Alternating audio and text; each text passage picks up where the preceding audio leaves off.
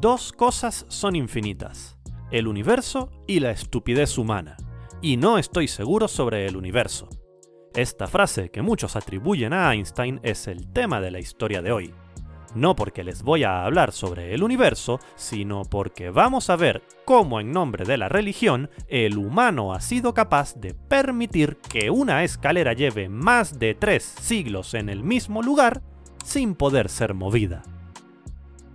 En Jerusalén se encuentra el lugar más sagrado de la religión cristiana, Construida en el siglo IV, la iglesia del Santo Sepulcro asegura contener tanto la ubicación en la que Jesucristo fue crucificado, como la tumba vacía en la que fue enterrado antes de su resurrección.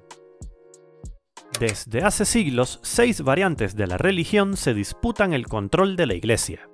Católicos romanos, griegos ortodoxos, armenios apostólicos y las iglesias ortodoxas copta, siríaca y etíope cuando incluso ramas del cristianismo que ni siquiera sabías que existían están metidas en el embrollo, sabes que la cosa se va a poner buena.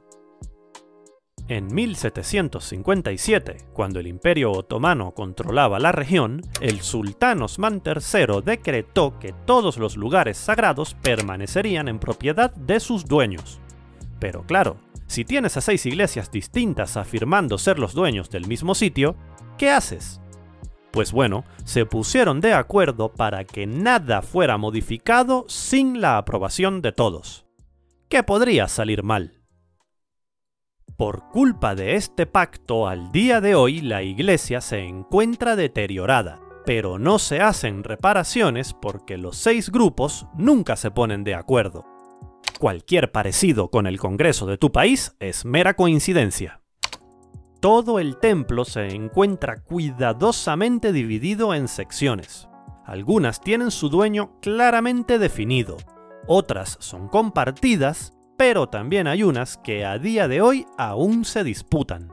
Es tan delicado el equilibrio en el que conviven que hasta por mover una silla se han ido a los puños. En una sección que se disputa entre los coptos y los etíopes, siempre hay un monje copto sentado en una silla para expresar su reclamo. En un caliente día de verano en el 2002, al monje se le ocurrió mover la silla unos 20 centímetros hacia un lado para estar más a la sombra.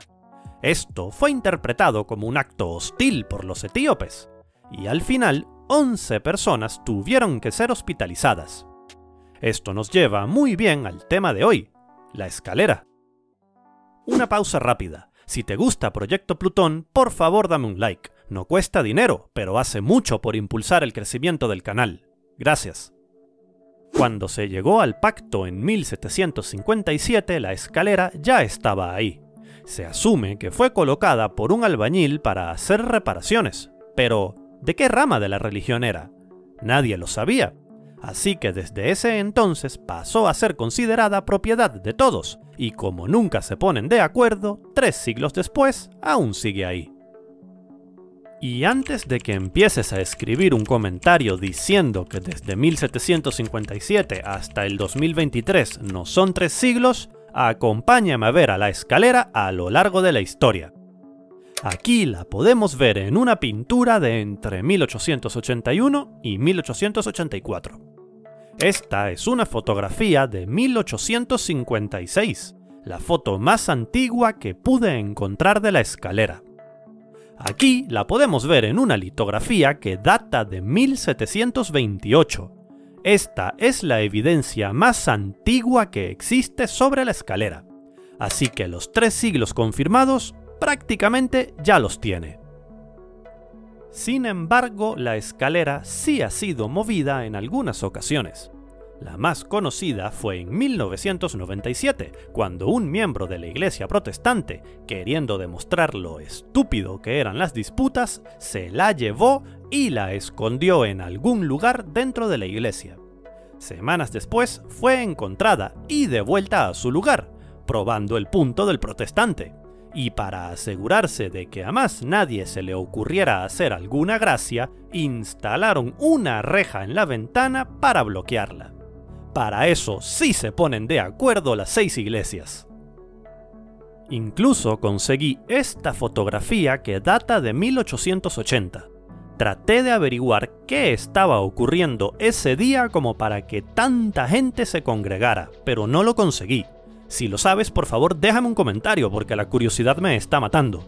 El punto es que mientras todo el mundo tenía su atención puesta en lo que sea que estaba pasando en medio del patio, un listo no desaprovechó la oportunidad para moverla un poquito. ¿Te gustaría ir a Jerusalén a ver la escalera? Si lo haces, por favor no se te ocurra intentar moverla, podrías desatar una trifulca. ¿Te parece un buen ejemplo de la estupidez humana?